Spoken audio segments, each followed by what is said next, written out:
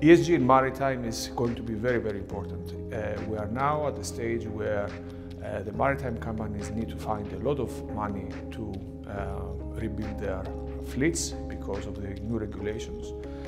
And ESG is a very important criteria for banks and other uh, stakeholders to uh, make their investments. So without a robust ESG strategy, shipping companies will find it more difficult to find the necessary funds and finance required to renew their fleets uh, in the near future.